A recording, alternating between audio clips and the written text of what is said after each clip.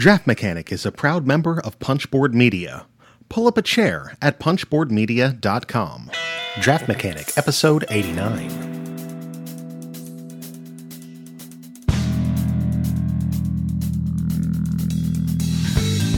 On this episode of Draft Mechanic, we discuss recent plays of War Chest, Impact Battle of Elements, and Carcassonne South Seas. We've got a six pack review and an on tap of Pasaraya Supermarket Manager, a beer primer on Winter Warmers, and in our final round, we asked our Slack channel for their opinions on deck builders. So sit back, relax, grab a pint, and enjoy the show. The future it works to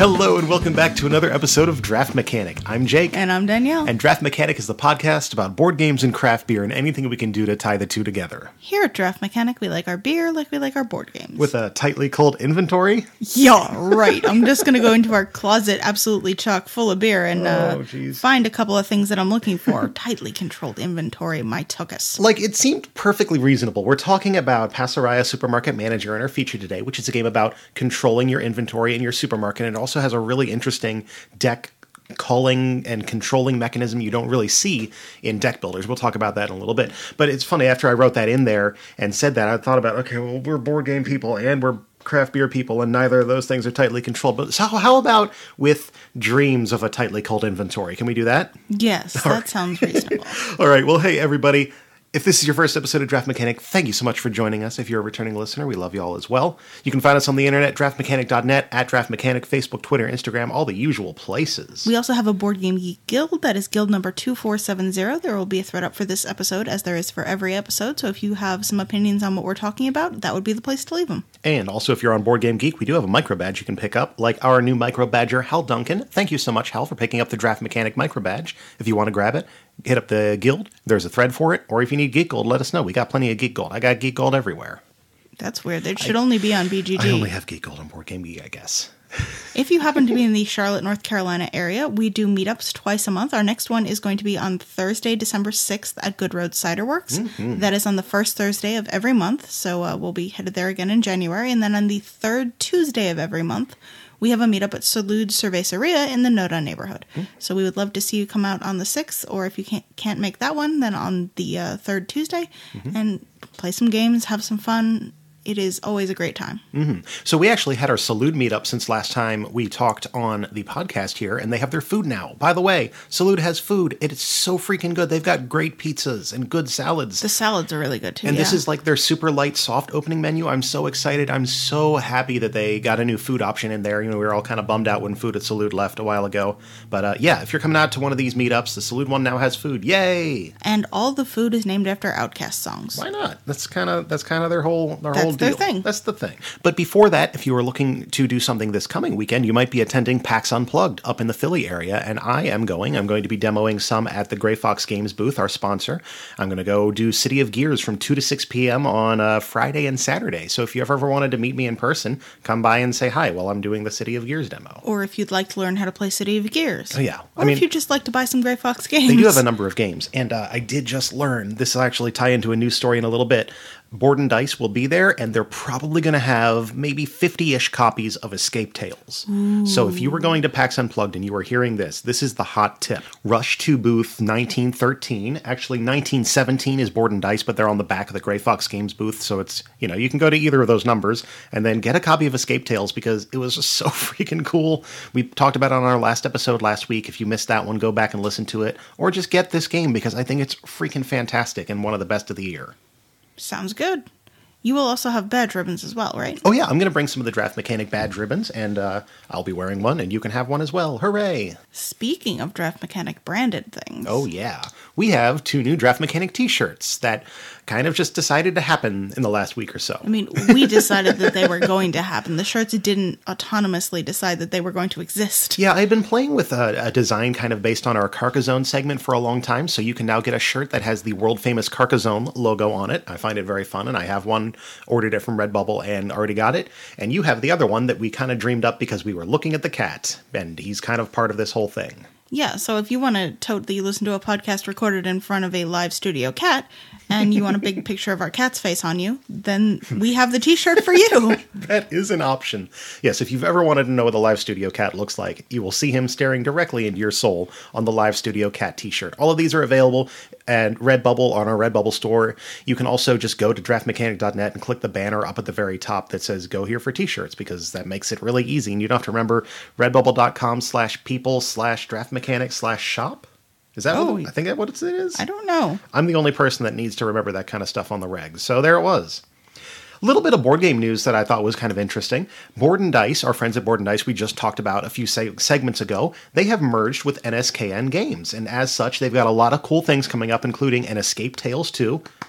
I'm clapping. You're excited. Uh, this game called Sierra West that I've known that they've had coming for a little while. It's kind of like a card-based hour playing Euro game, and it looks like it has variable setups, so you can do different kind of card structures to play through this game. I don't know a whole much more about that. And also a hot title out of Essen that NSKN Games had. Teotihuacan, so they are apparently going to have that as one of the big games that they are supporting going forward. They also have a spicy new clean logo that is based on the original Board and Dice logo, so it looks like they're going to be keeping that branding.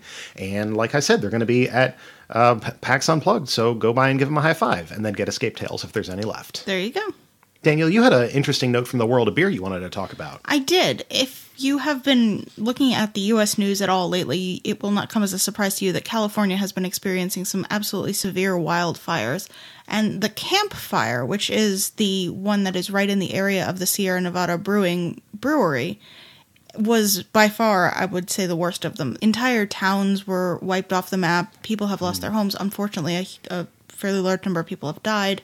And Sierra Nevada, while their brewery escaped destruction, wanted to give back to the community that they are a part of. So they started something called the Sierra Nevada Camp Fire Relief Fund. And what they have asked is they are going to brew on what is called Giving Tuesday, which is the Tuesday after Thanksgiving. They're going to brew a beer called Resilience, and they have asked other breweries to brew this beer as well and to donate the proceeds that come from that beer to that relief fund that they had set up. It was started with $100,000 of Sierra Nevada's seed money for that fund, but they're asking that anybody who brews this resilience beer, and they're distributing the recipe and working with hmm. malt and hop purveyors to get the malts and the hops out to breweries who are pledging to brew this beer. They're asking that anybody who brews it also donate the proceeds to this hmm. relief fund. And its idea for the relief fund is that right now there's a lot of focus on this, but this community is going to be rebuilding for a very, very long time. Yeah. So this is a fund that is meant to spur long-term recovery efforts in the community. So there are over a hundred breweries that have pledged to brew this beer, including I know in our local area, Wooden Robot and Noda Brewing have hmm. both pledged to brew it, and they're asking that people sell this beer and donate the proceeds. So if you would like to go to sierranevada.com and check out the list of breweries that are going to be brewing this so you can check out who in your area is going to have it, you you can go and get a beer that is going to be a I'm sure a tasty beer. Sierra Nevada doesn't really make bad beers. They make good quality beers. So they've developed this recipe and you'll get a beer and you you'll know that the proceeds from that beer are going to help people who desperately need it. That's awesome. So, yeah, go check out that list, find your local version of Resilience mm-hmm. and go drink it. Yeah, we'll have notes in the show notes, links to all that stuff. Definitely. There will be a link to the page that lists all the breweries and such. Cool. Well, should we move on to do some Kickstarters like we do at this time? We can. Cool. Danielle, you got the updates from last one? I do. Atlantis Rising, which is from Elf Creek Games, is currently funding at 102,000 of its $20,000 goal and it has 1522 backers. This project ends on December 1st, so you still have time to go back it. Deluxe backers are now getting a limited edition numbered box. They've unlocked a ton of stretch goals, including components for a seventh player. Yeah, that was an interesting move. And when I was playing this with them last week, they said that that was the kind of thing that they were thinking about doing. And I feel like, you know, it's the kind of game that the only thing that's going to happen when you include seven players there is that you have more different interesting player powers and it's going to really kind of amplify the decisions and the possibilities of your gameplay. It's also going to make it way harder because more stuff is coming out a lot faster. So I'm really excited to see that. And I like the way that they're doing this deluxe backer thing. Anybody who was a deluxe backer is getting this nice upgraded box and stuff, and they're not adding exclusive content. They're just putting it in a, ni- a nicer box at this point. That's a good way to do a little extra thank you to Kickstarter backers. So I'm really kind of behind that. Next up, we have Imagineers from Maple Games. This is funding at $14,000 of its $10,000 goal with 288 backers. This ends on Sunday, December 2nd, so this is also still available for backing. And it will unlock solo stretch mode at the $15,000 backing level, so they're so close to that. I can't imagine that in the next, what, week they're not going to get another $1,000 worth of backers. Yeah. So it should have a solo mode out with it. And finally, Pipeline from Capstone Games is funding at $108,000 of its $20,000 goal with 1,676 backers. This ends on Monday, December 3rd because we need to have consecutive days on all of our Kickstarter end dates. I did put them in order just for that reason. Yeah, that would have been really annoying if you hadn't. we have got add-ons for metal cubes at this point on that Kickstarter, and that will replace the wood ones that had originally been slated to come with the game. Yeah, it's an interesting little add-on, and I don't know how I feel about that. Honestly, I love wooden cubes. I think that wooden cubes are a really great component. And metal cubes, I'm just afraid that they're going to dent everything and hurt Well, me when I get them thrown at me. So you don't have to buy them, right? You don't have to buy them. It's like 10 or 15 bucks, and it's like 60 or 70 metal cubes, or maybe a lot more. It's a lot of cubes, and they're all metal. So if you like metal cubes, here's an opportunity. If you don't like metal cubes, you, you don't have You to don't buy have them. to buy you don't have to buy them. All right, so I got three new projects. I'm going to go kind of quick through the first one here. Aeon's End, the deck building game, has a digital implementation on Kickstarter right now, being done by Handelabra Games. Uh, it's currently at 26000 of its $30,000 goal with about 1,200 backers. This one ends on Tuesday, December 4th, which is another consecutive day, just for you. With an estimated delivery of June 2019, you can back it for 15 bucks, 20 bucks to get the Kickstarter edition with some special digital content, or you can spend a bit more and get into the beta or the alpha build teams, which is kind of cool. I guess if you want to get on that stuff earlier. The reason I wanted to include this, two reasons. One, I really like Handelabra's development. We talked about One Deck Dungeon in the past about that app, and you really enjoyed it, right? I love that. It's so much so that I have sort of put our physical copy on the for trade pile because while it's a mm-hmm. great game, I love the digital implementation so much more. Yeah, and the other reason I wanted to include this, this one is actually sorted under the video games category rather than tabletop games, which of course makes perfect sense. But I feel like a lot of people like me probably just continue to scrape the tabletop games menu on Kickstarter for looking at what kind of new projects there are. And stuff like this that's app im- implementations of games, definitely want to make sure people are aware of it and know that it's out there. Um, I've heard a lot of great things about Aeon's End. I haven't played it ever, but I trust Handelabra with card games. They've also done Sentinels of the Multiverse, so their reputation for card game implementations is always just fantastic. Do you know if this is including any of the expansion content? Um, I know that they are working to implement that, and I think that it will not be available immediately. I know Okay, that it, just it- DLC. Yeah, it'll probably have DLC in the future. Cool. Yeah, so check out that on the video games menu in Kickstarter. It is Aeon's End Digital Edition. Next up is Rallyman GT from Holy Grail Games. This one is well funded, 84,000 of its $23,000 goal with a little over 1,500 backers. It ends on Thursday, December 6th. I'm sorry, we've skipped the 5th. There are no projects on this episode ending on the 5th. It has an estimated delivery of November 2019 and just one pledge, 56 bucks for the game. Now, this is a modernized version of a classic roll and move racing game, but not like roll and then move that many spaces like in Formula D or something like that. The way this works is you move one space per die. You have a set of six dice that are the six gears of your car, one through six, and depending on what gear you are in, there are more warning faces on those dice. So if you want to move four spaces and you're in gear one, you'll lay out the one, two, three, and four dice on the board in front of your car. You always have to either increase or decrease, you know, sequentially when you're laying out your dice. And then you can decide either to roll them one at a time and push your luck that way, or you can roll all of them together and get some focus tokens. But the danger, of course, is if you have a specific number, I think it's three of those warning signs, you spin out, you take some damage. So it's kind of an interesting way to use dice in a racing game, and I'm kind of interested to see how this one works. I want to look more into this game. I'm also really interested because apparently the track itself has specific conditions, like maybe in this corner you can't go above a two, or in this area, you know, you can use this space, but only as a gear four because it's a, a longer, wider space. And that's a really interesting and cool mechanic that I'm really kind of want to know more about. The board is also modular instead of being individual boards like a Downforce or Formula D were in the past. I know that this one is like hex tiles and you can set them up, and they also have like a crossover bridge as a Kickstarter exclusive piece. It looks really cool, and I want to probably look into this one a little bit more. Is that any interesting to you at all? No. Oh. I didn't really like Formula D, and the modular board sounds like oh, what was the bicycle racing game? Uh, that- Flamme Rouge? Yeah, Flamme Rouge had a mo- uh, modular board so that you could set up the track differently.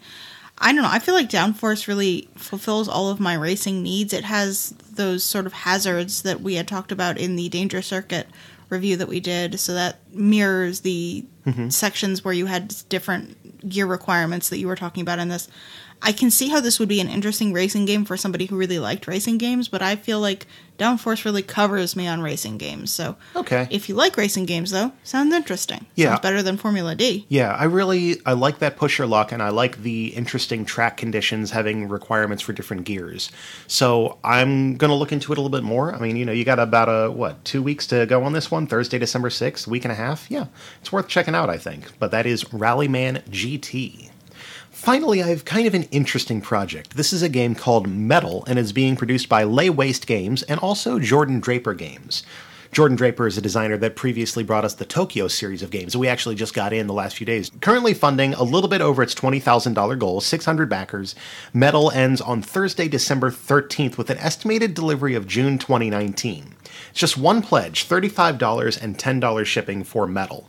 Now, what is Metal? Well, this is a game completely made of metal. All of the pieces, everything in it, including the box, is entirely made of metal, all sorts of different metals. So you're going to get some balls, some pins, some batons, and stuff like that because Metal is a set of three classic lawn games plus three newly designed games reformatted for tabletop. So it has the rule sets for bocce and Kubb and croquet, but it also has these three new games, not pool, yes, not pool, bangers, and also team meeting.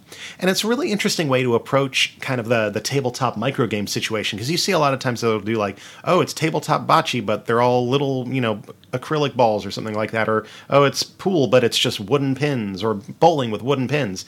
Going all out on the metal is a really interesting decision, and apparently this is a series of games that Jordan Draper wants to do that are all composed of an entire element. There's another one that is all uh, fabrics. There's another one coming that's all wood, stuff like that. And he's using Lay Waste Games for production. Lay Waste Games did Dragoon, that I feel like we've talked about a few episodes ago, and one We of the did. things that you had to say was how awesome the metal pieces in that game were. Yes, the metal pieces in that game were very good. Team meeting sounds like the dumbest lawn game ever. Like, I don't want to go to team meeting when it's not a lawn game. Yes. I'd be interested to see what this is. I'm very surprised at the shipping price because I mm-hmm. figured the shipping on this would be absolutely through the roof since you're mailing a whole box literally made of metal and full of metal. So I'm interested to see that. Um, Bocce and Kubb and Croquet are not games that generally I would think that people would be marketing towards tabletop gamers. Bocce's a great game. I, I'm not. I haven't played Croquet in years, and I've never played Kubb. But I mean, it's an interesting choice, and with these three new games, maybe that'll bring people in because they'll want to know what these newer games are. I can't really imagine Bocce being played with metal balls. That sort of Yeah, that would be a lot of clanging and a lot of knocking things off of table, denting your floor. yeah. I mean, are they made to be played on the table, or are they actual lawn games? That No, it's tabletop size, so okay, it's meant so to be you're played on your gonna table. you're gonna roll dent your table real good. Yeah, maybe maybe instead of throwing the bocce, you uh, just gently roll it down the table. Do you have to put a little piece of astroturf on your table? yes, and you have to have these tiny little two by fours. You get a copy of Tokyo Highway, and there you go. You build your little frame like Is that. it metal astroturf? It is. Oh man, I don't even want to get into the implications of that. I don't know. Like when when I was looking this up, I'm like, okay, well, this is going to be super expensive. Thirty five bucks for tabletop games that are high quality metal. That is a lot cheaper than I expected. Yeah, I'm not. I'm not arguing that the production won't be good. Yeah. I'm just kind of wondering about the premise. The necessity is a little odd, but I think that's kind of why I put it in the segment because it's an interesting and weird project that somebody out there right now is probably about to click on Kickstarter and uh, or back that thing. There you go. If you did, let us know because why not? You know, now you got some metal. Cool. Yep. All right. Well, time to move on to some recent plays. So, yeah, no, that's it. That's the whole segue. Want to wear your draft mechanic pride to your local brewery, board game meetup, or board game meetup at a brewery? Check out redbubble.com slash people slash draft mechanic for t-shirts. First up in recent plays, we have Impact Battle of Elements. This is a 2018 release from Ravensburger, plays two to five players in about 15 minutes. This is designed by Dieter Nüßle, with art by Agency Cactus and Fiore GmbH. This is a game of elements battling for supremacy in a cauldron. You mean dice in a bowl, 2.0. but dice in a bowl. if you have ever played Strike or had Strike explained to you, the rules for Impact Battle of Elements are going to sound really familiar. Each player is going to start with a certain number of dice. In two players, it is eight, and then for most other player counts, it is six, and I think it goes down to five for highest mm-hmm. player counts. Each of these dice have one blank side, and the other five sides have elements inscribed onto them. They're custom dice. So you have a rock, you have a little fireball, you have a water droplet, you have a lightning bolt, and you have s- some wind, which is theoretically a hurricane. Yes, the wind. It looks like a small gust, but whatever. you are going to start with one additional die in a plastic bowl, which is a plastic indentation with some craft foam on the bottom of it that is sitting inside the base of the box. You open the box up and you play right in the bottom portion of the box. Put one die in there. The face that the die that is started in the bowl rolls is the special rules for this round of the game. So if you roll a blank face, I think you just re-roll it until you get one of the five element faces. Mm-hmm. So for example, you may have a, fire side up, and that means that anytime you roll a match that is fire, you're going to need to stack up all your dice. These are the kind of special rules. But I think I'm getting a little bit ahead of myself. Players are going to take turns rolling their dice, generally one at a time, into the bowl slash cauldron slash arena slash whatever. If you get a match of any of the dice in the playing area, you are going to take all of the dice that match into your personal pool of dice, assuming that there is not a rule that changes that based on the round. You can continue rolling uh, one die at a time, as many dice as you want, as long as you have them, taking any pairs that match. You can also, at any point, once you've thrown at least one die, you can pass, and the next player will start throwing their dice in. If at any point all of the dice in the bowl match, you're going to take all of them out, and the next player needs to roll all of their dice at the same time. They'll still get to take any matches, but if there are no matches, they're not going to have any dice left and they'll be out of the round. You're going to keep going around until all but one player runs out of dice, and that player is the winner. If you happen to be a listener of Rollin' Dice and Taking Names, our friends on the south side of Charlotte, you've no doubt heard about Strike a whole ton. They host a yearly meetup where they do a Strike tournament at Gen Con. And this year, the winner got the very first uh, English copy of Impact Battle of Elements. And everybody was very excited for them. And Strike well, Impact, either or, is the kind of game that is not going to be super deep strategically, and it's just going to be basically rolling some dice and having a whole lot of fun with it. And I think that's kind of what has always excited me about this game. And finally, having Impact available here in the United States is great because Strike was never available to us. You could import it if you were lucky and you found a copy somewhere online from like Amazon DE, but finally having a copy of this that is the official thing, that is not just dice and a bowl, is really nice. And I'm glad that it's available. But it is really just dice in a bowl. Yeah, I mean, it might just be dice that you roll into a bowl area, but I will say, production wise, the dice are very good quality. I agree. I do really like the fact that all of the sides have color that is distinct, in addition to their symbols that are distinct, which is really nice. I like that they have symbols in addition to their color because for colorblind folks that is going to be a big mm-hmm. lifesaver. And they all they are all really nice. They're indented etchings on the dice. It's mm-hmm. not just like a sticker that's slapped on there that could come off or something. It is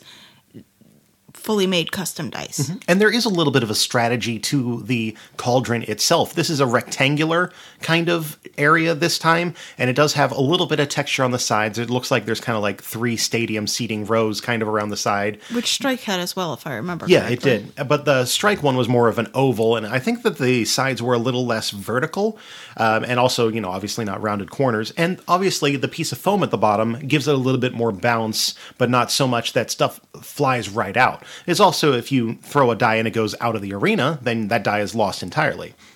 Um, one thing that is really weird about this one is that they made the box taller in addition to making that arena tighter. So the cauldron arena ish thing is actually maybe an inch or so elevated off of the table. Like the very base of the inside is elevated an inch. There's just a cardboard inch of raised in the inside. And I guess that you think it was just probably some kind of like art decision. I think it was a decision based on the fact that they had a good bit of information to put on the side and art assets they wanted to put on the side, and the Ravensburger logo takes up one of the corners. Mm-hmm. So it may have been a shelf presence decision. It may have been it's easier to stand the box on its side if the box is thicker. Yeah. I don't, I don't know what it is. It doesn't functionally change the game at all because the depth of the actual plastic blow molded or vacuum molded section is still only about an inch or an inch and a half Yeah. deep. You just have extra box filler inside, which you wouldn't actually notice unless you were comparing the depth of the arena to the depth of the box. It's not like it's done poorly.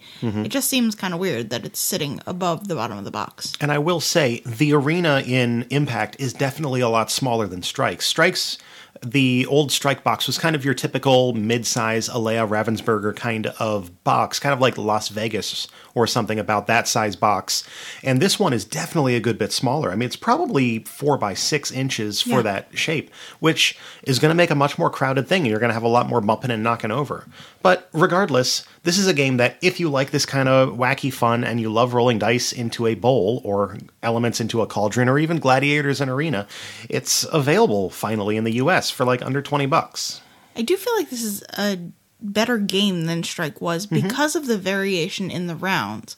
Because you roll that initial die and you decide what type of game you're going to be playing, or you can just choose it, I suppose, if you like. There's no reason you actually have to mm-hmm. do it randomly. There are no element police. That's true.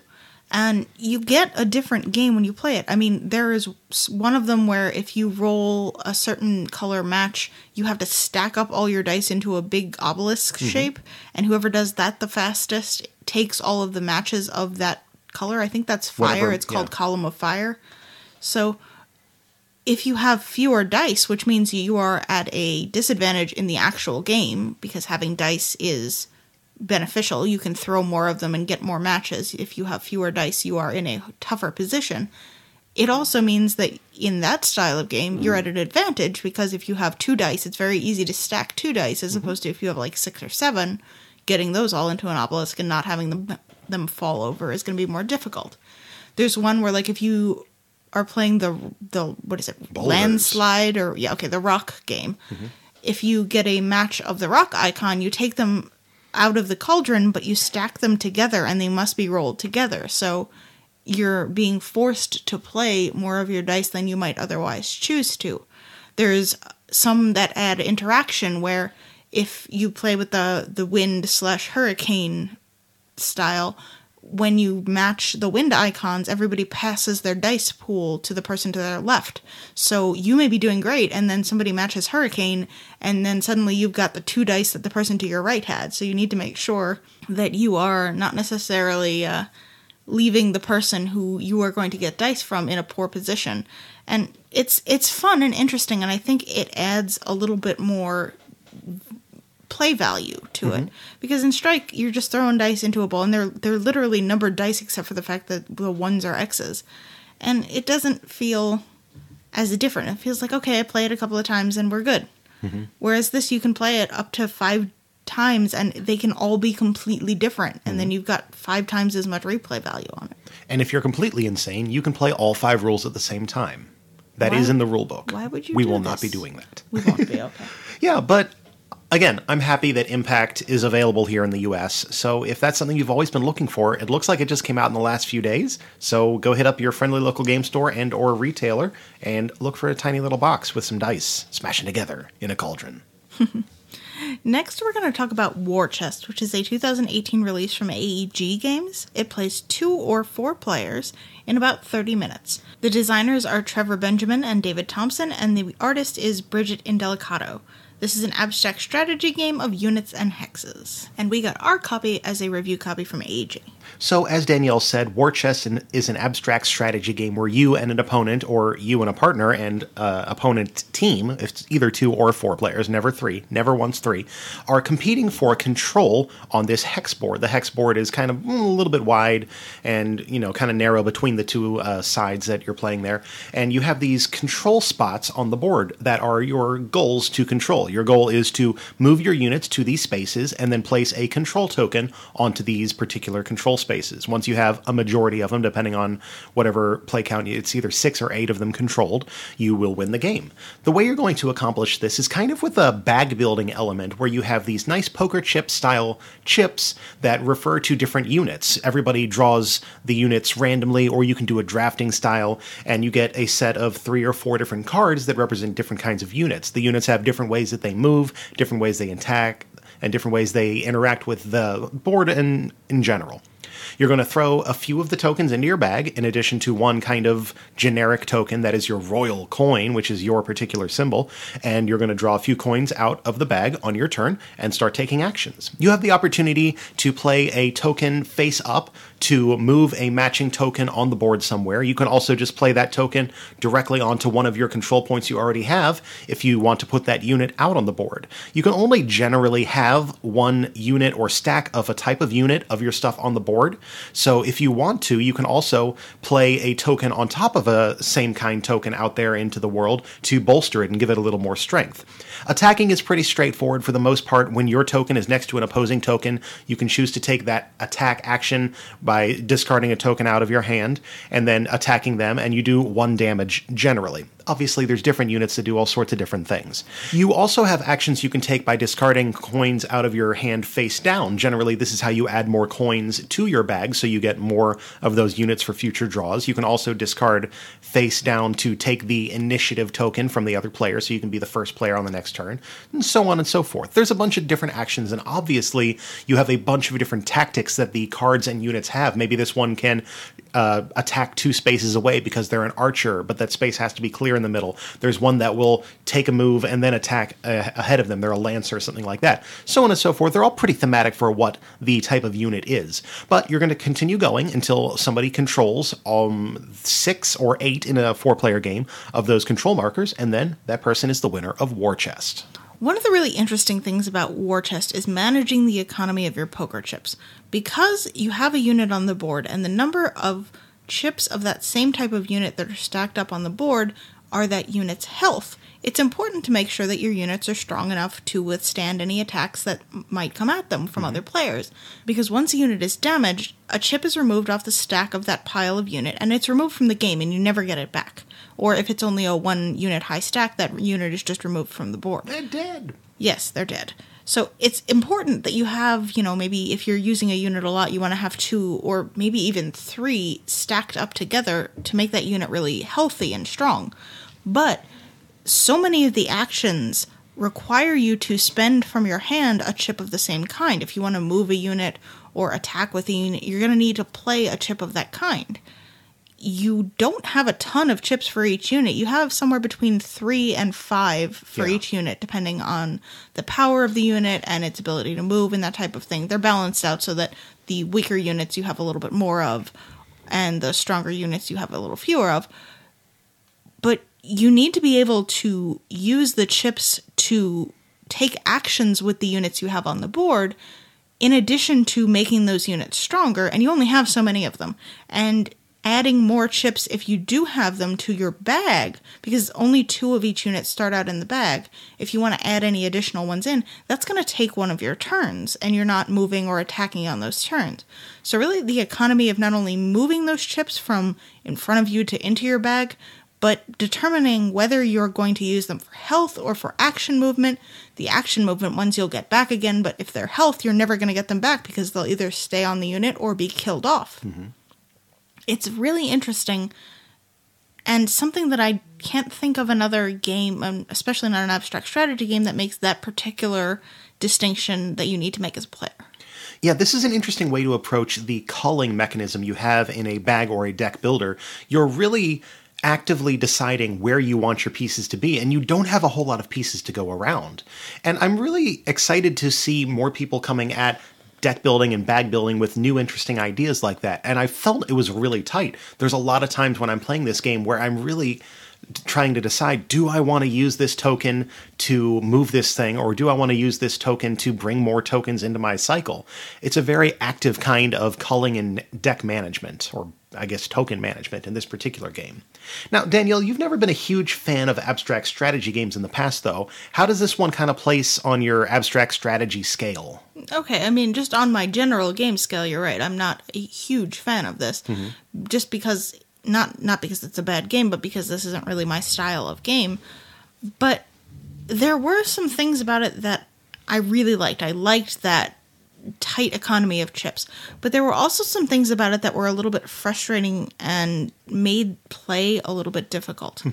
The fact that some of the chips you discarded into your discard pile needed to be discarded face up and some needed to be discarded face down it was um it was just sort of confusing. You i often forgot which things were discarded face up or face down and which i could use anything for and which i could only use specific units for. Generally the way it is is if something has to do with a specific unit you have to discard a matching token. But sometimes that matching token is face up and you know you have the, that one royal token which isn't any specific unit although it does be, it is referenced by one of the tactical powers of i think one unit which is not used in the base setup of the game. So generally if you're playing with the base setup they recommend you have this one thing that is only able to be used for face down movements. And i kept wanting to use it for face up things. I'm like oh that's my wild token. But it, it really only allows you to get more units or to take that initiative token. Mm-hmm. Yeah, it really feels like that token should be more useful, but maybe the fact that you get it at all is what is useful about it. Yeah, I mean it's a free token into your bag. Yeah. I also really wish that they had given player aid cards that just had the rundown of what you can do with each token hmm. because there is a list of it on the back of the rule book. But if you're playing with two players and everybody needs to, or even if you're playing with four players and boy. everybody needs to check to see what they can do with the tokens in their hand, it may be a minute before you get that thing back. So just a couple of player aid cards I feel like would have been really useful. Yeah, I agree. There's also not a whole lot of planning you can do before your draw, unless you're at the point where you know what the three tokens left in your bag are, because you're drawing three tokens around. If you have a bunch of tokens in your bag, or you have maybe one or two tokens where you're going to be throwing your discard pile back into your bag and then drawing it out again, you can't really plan because so many of those chips require that you discard an identical unit token. If you don't know what you're going to have in your hand, you can't plan beforehand. You can say, I'd like to be able to, you know, attack with my catapult and then move my lancer two spaces and attack over here. Or maybe I have a unit on a control point and I'd like to play a token down to take control with that unit. But you don't really know what you're going to get. And since some of those things you need a specific token for, it may be two or three turns if you've got a whole bunch of stuff in your bag before you are able to get back to that point where you can do the thing you want to do, particularly if you've already had tokens removed because you got injured uh, as a unit. If you're trying to draw the one Lancer token out of your bag, it's less likely you're going to get it if you've got a full bag. I want to echo back to something you talked about about how the back of the rulebook has the chart of the different things you can do. It you know, gives you a list of all the different things you can do face up, face down, so on and so forth. You talked about in a four player game how there's to be a lot of passing around, and I actually did get a chance to play this four player at our last game night, and it really was a ton of passing this this uh, booklet around because there's a lot of different things you need to think about and it's i feel like it's a really hard pickup in a way to remember a lot of those different things the way that you can do so on and so forth action with a face up or face down token which provides a lot of strategy and a lot of depth but this is game is going to have a heavy pickup for a game that isn't really as complex as it that rule set makes it feel. Well, I don't think that they wanted this game to be the game that you play once every eight months when hmm. you feel like bringing it out. First of all, the production and the box of it don't really lend itself to being that every once in a while game. Like, this is a showpiece box. It's a big, thick box with a magnetic closure. It's got a nice tray for all mm-hmm. the chips to be splayed out in, one that doesn't necessarily hold the chips in the most reasonable way because they're all the same depth of indentation and you have different number of chips, but whatever. I understand that it makes a lot it makes it a lot easier to produce it if you can just put an even number of chips in each one. Yeah. But I think they wanted this game to be the chess of or a chess style game, like where you play it all the time and you get really good at knowing mm-hmm.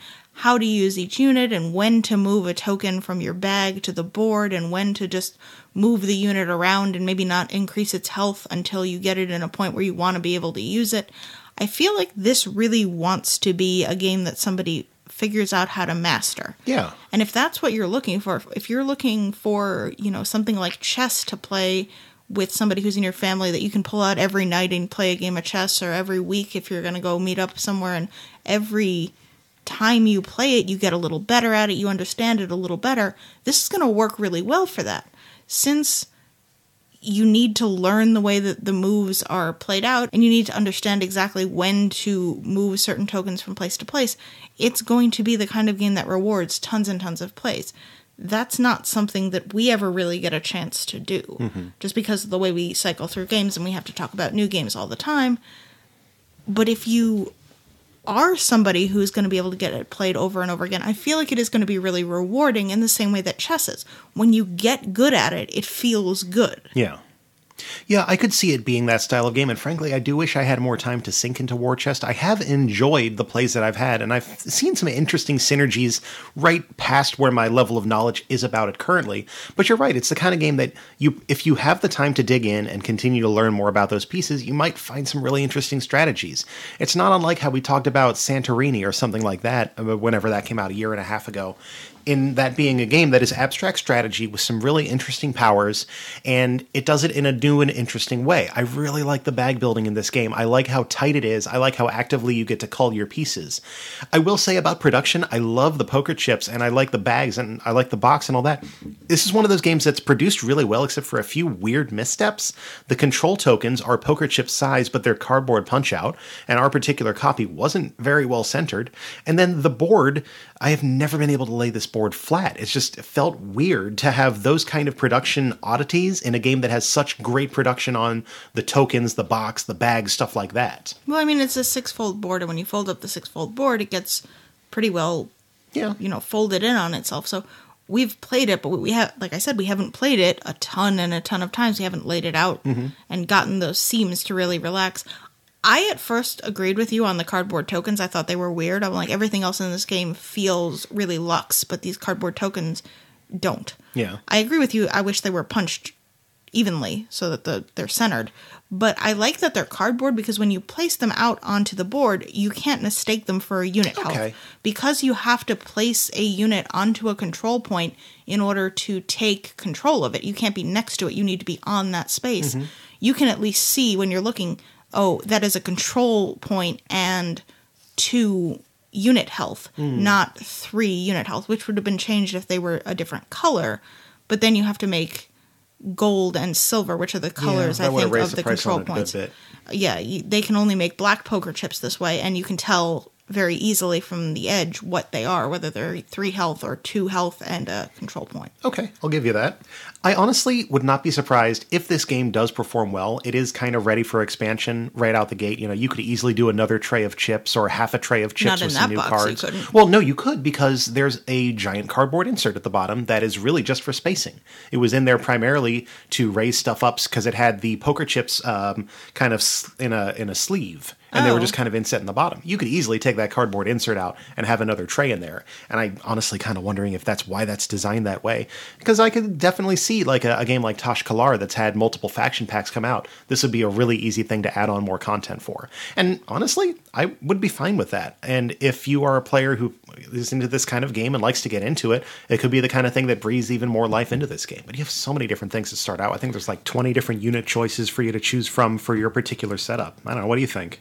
This is a game that I can't say I absolutely love, but I knew I wasn't going to when I read the rule book. The first time I read the rule book, which I think I did before you had had a chance to look at it, I set it up and I played a solo game just to make sure I understood the way the mechanics work. And I immediately looked at it and I was like, I'm going to bounce off of this. It's a good game, but I'm going to bounce off of it. This is not the style of game that I love. And if you look at chess and you're like, mm, no, then this is probably not going to be the style of game that you're going to love. But if that's the style of game that you are really all about, This is a really interesting implementation of it. And I like the way they've done the things that they have done. I do wish that there were a couple of those different things, you know, some player aid cards and some centered control points, but they're relatively small gripes. Other, I mean, those player aid cards would really help, but Oh, I'm sure you can print them off BGG at this point. probably. I haven't checked because, like I said, I'm not interested in playing this every week. But for somebody, this is the game that is going to be the chess in their household that they're going to play with their kids or with their. I mean, heck, who who doesn't have that friend that played chess with their grandparent all the time? like I knew a, a person in high school, and that's what he did. Mm-hmm. And I have a feeling this game could be that for someone. It's just not that for me. Oh yeah, there are definitely a whole bunch of different uh, player aids available on Board Game Geek. yeah, I mean, I'll echo that. If you enjoyed Santorini, and especially if you enjoyed Tash-Kalar, like I felt a lot of Tash-Kalariness on this game. See, I love Tash-Kalar, but I, d- I just didn't get this one. Mm-hmm. Yeah. Not, not get it. I just didn't Yeah, jive with this one. but if you're big into abstract strategy with some interesting card powers, then War Chest is definitely worth a look. I'm excited that we have it, and I would really like to play some more games of this. Hopefully, you know, this is my bring it out at the beginning of game night kind of game when Daniel or somebody shows up early, and we can play a few rounds of it really quickly. It's uh, it plays quickly enough. You know, you could get a game of this done in 20 once you're really getting comfortable with two players. It's totally possible, or maybe it'll take an hour because both of you get really good at it. I have a feeling that getting really good at it is what's going to make that drafting mechanism that they have included in the rule book at all valuable as Yeah. well. They give you a beginning player setup, and I would highly recommend you use that the first time you play it because if you don't know how the units work together, you're going to put yourself at a strong disadvantage to somebody who does know how they work together. Hmm. And I have a feeling once you've played this with that starting setup and maybe switching out one or two units a bunch of times, that's when drafting is going to become a really interesting decision to the point where I could see drafting units being sort of almost as important as how you play the game going forward. Cool. Well, War Chest. If you like it, maybe you'll like it. That's kind of my gimmick now. I say something weird like that on these, um, maybe, you know, for the right kind of people kind of reviews. Yeah, So, up next. Oh, yes. Are you ready? I am. Okay, hey, listeners out there, to pull the, the curtain back a little bit, we just got a new recording interface, so I've never done this before, and I want to see what it sounds like because it is time to go into the CarcaZone. Sounds about the same. Sound good? All right, cool. Well, we have played Carcassonne South Seas, the 2013 release from Z-Man Games. Plays two to five players in 35 minutes, designed by our boy Klaus-Jürgen Wrede, with art by Harald Lieske, Dennis Lohausen, and Christoph Tisch. This is a game of Carcassonne, but wait, without scoring by feature size. Wait, what? Yeah, for what might be the first time, you are not just completing a feature and then scoring that feature when you do. Ooh, I'm scared. You are completing features, so Yeah. Don't worry about that. But in Carcassonne South Seas, you are going to start with a central starting tile, and then you are going to draw a tile and place the tile out into the board, connecting features to like features. It is Carcassonne. It is Carcassonne. It will always be Carcassonne.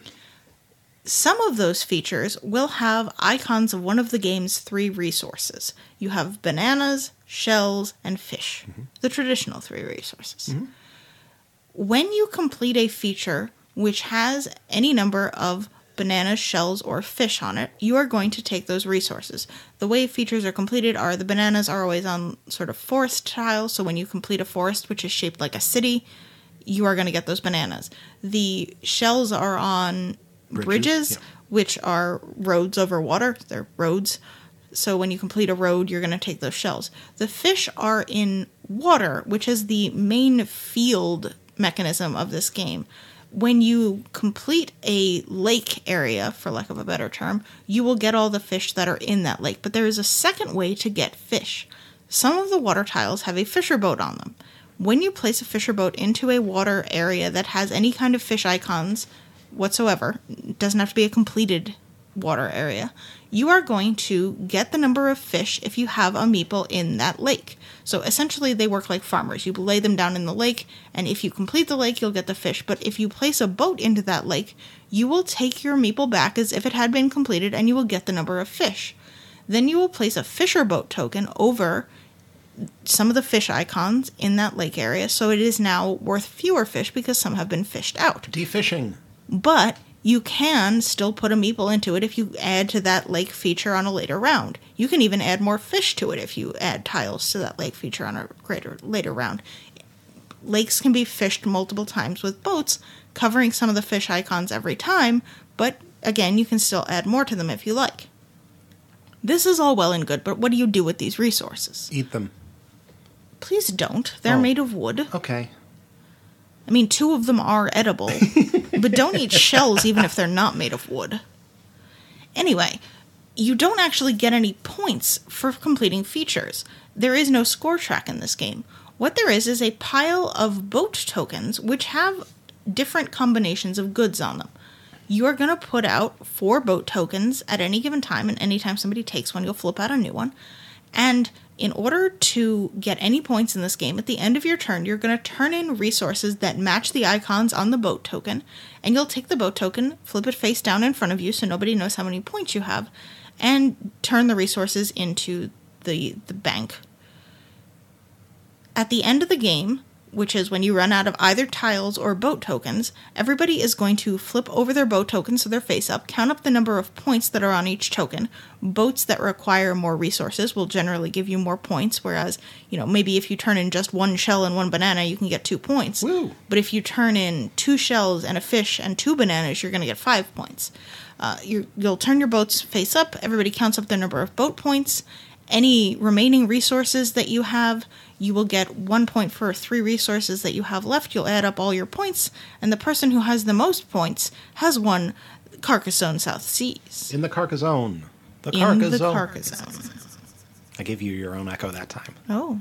So Carcassonne South Seas, I feel like every Carcassonne we talk about, you have the camp of Carcassonne but add something, and what or Carcassonne but something weird. And this is definitely Carcassonne but something weird. I feel like we talked about this with um, the Discovery a long time ago, where it really changes the fundamental way that Carcassonne scores. Honestly, when I opened up the box and I saw that there wasn't a score tracker in there, I honestly thought that there was a piece missing. I thought we had, you know, missed something somehow. WTF, mate. Yeah, it was very confusing. And then I start punching stuff out, and I look at the rule book, and it doesn't tell me that when I close a city, I get two points per tile. And I was very confused.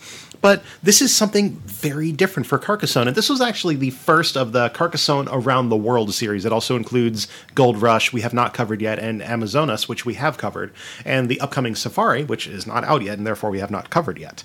So it's interesting to see that with these around the world ones, it looks like they're going a little further away from the system. Obviously, Amazonas had the river that you're going down, and you have the boat, Boat scoring thing, the boat race thing. This one also has boats, but they give you fish. I guess it's just a boaty kind of expansion around the world kind of deal. I doubt Gold Rush is going to have too terribly many boats. but we've played this with four and with two, and it felt just odd. It felt very odd to the point where I don't know how I feel about this one. Oh, I do. Tell me how you feel about this I don't terribly like it. Okay. there is i feel like a little bit too much randomness in this game for it to feel good in the way that carcassonne generally does when you're playing a game of regular carcassonne no matter what tile you draw even if it's not the tile you wanted you can do something with it mm-hmm. in carcassonne south seas the only way to get points is by fulfilling I mean, I guess you could just collect an absolute ton of resources and get three or one point per three resources at the end of the game. Yeah, you get something. But you're not going to win if you're not completing any boat tokens. And a lot of times, you're going to end up with all of the boat tokens requiring a specific resource. Uh, the game I'm thinking of required bananas, and, and I think bananas are generally the rare resource in this game, like the one that's yeah. hard to get. Fish are easy to get because you can fish multiple times in the same lake the bridges give you shells and generally there's enough bridges going around that you can at least get one or two shells but bananas like if you don't have them and you're not drawing jungle tiles which have bananas on them you're not going to get them Yeah. and if you don't get them you can't score points That happened to me significantly in the game we were playing earlier today.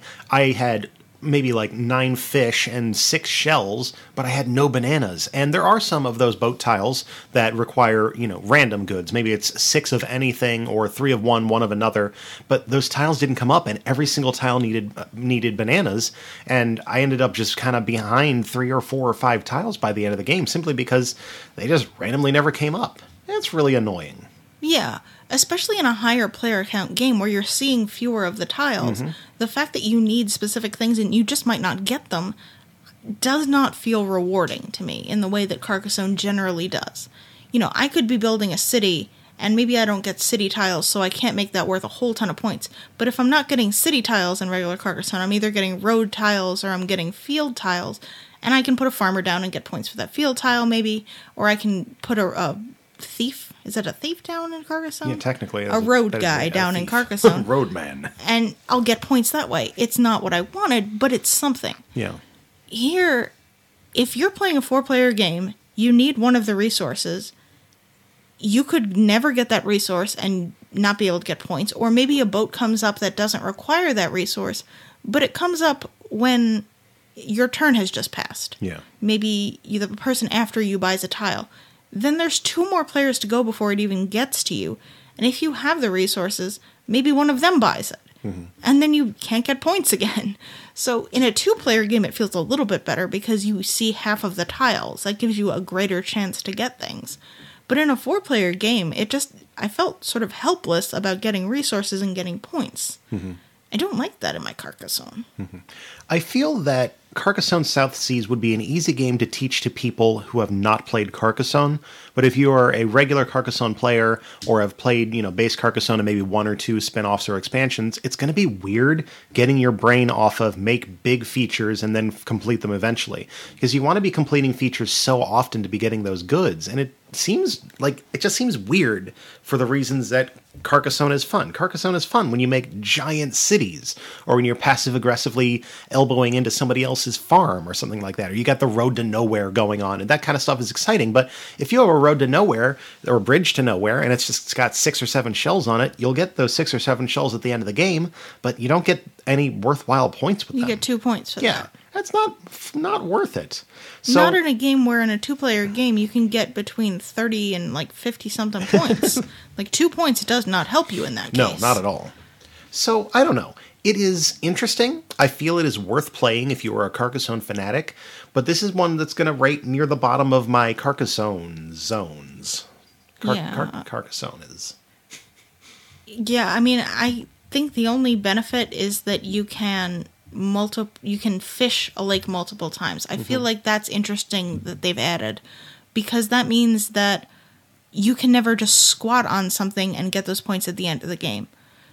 I mean, you will get the points at the end of the game because just you do score out your features, but not in the same way that like farmers can absolutely just destroy at the end when you're doing scoring. You get to get multiple value out of those lakes, but if you're not adding to them, they will become less and less valuable. So you need to be contributing as well as withdrawing. That's cool. But I don't think that that mechanic makes up for the randomness that comes from the random boat tiles along with the random terrain tiles. Yeah. Before we leave the CarcaZone, do you want to talk about the art a little bit? It's fine. It's the monkey has the weirdest face on the front of the box. Yeah, the box cover is one of these. Don't look at, at it too closely because it seems good from a distance, and then you look at the detail, and the monkey looks like Homer Simpson, and he's got like the Homer Simpson mouth kind of look to Yeah, him. it's a human face on a monkey, and Why it- does a monkey have a human face? I don't know. I don't know. But production wise, it's nice. The tiles are definitely a nice kind of refreshing look in that there's not just fields everywhere. The ocean's got, you know, nice color to it. The bridges, everything's very colorful in this game. And the wooden tokens. Oh yeah, I guess we should say about the wooden tokens. The there is a, a one token and a three token for each of the goods, and the goods or the three size goods are just bigger. They're slightly bigger. So if somebody across from you has two big bananas and you have no frame of reference for that, it might just look like two regular bananas and they've actually got six over there and they snatch that tile out from under you. That is kind of annoying. You know, I would have loved to have a, a different piece shape, maybe like a three bunch banana or like a pair of fish or something like that. But I don't know. I mean, it's we're we're so going into the nitpicky stuff on this. at That's this not point. nitpicky though. Like. Hmm. since the only way to get points in this game is by turning in resources, if you think somebody can't complete a boat and you let it go around because you can only claim one boat at the end of each turn. Hmm. So say you can can claim two boats because you think that this one will still be here, the other player can't claim it because they don't have enough resources. And then it turns out that they do have way more of a resource than you think. That can be a problem and it can really put a, a hitch in your game. Or what had happened a couple of times in our four player game, somebody picks up the wrong resource and thinks they have either fewer or more of a resource than they should because you know they they're not that different in size. They are a little bit thicker and a little bit bigger, but particularly the, the bananas because the the shells were pretty easy to tell apart. Um, if you had them together, which if there's no frame of reference, it's not. But Yeah. The fish were a little bit more difficult. But the bananas were very difficult to tell apart, especially since the edges of some of the smaller bananas were chipped and some of the large like it it was not a great component choice. They should have been either different colors or marked in some way or different shapes. Yeah. I don't know what it is, but it like make make good pieces. Yeah.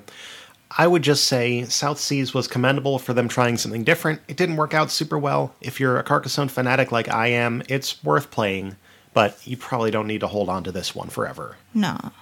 All right, Danielle, you want to take us out of the CarcaZone? What, like on a ferry? Do I get to take fish with me?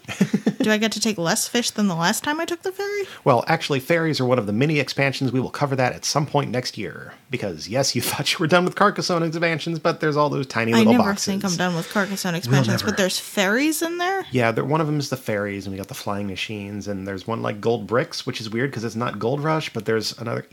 Look, what I was saying is that there's a lot more in the CarcaZone for 2019. So get your t shirt now. Yeah.